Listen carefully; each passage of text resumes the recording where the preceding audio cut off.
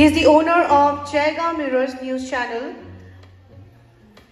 also the owner of Digital Mirror Studio, the organizer of Dooars Icon Awards, Mr. and Miss, and also Mrs. Dooars. Can you have a big round of applause for our guest?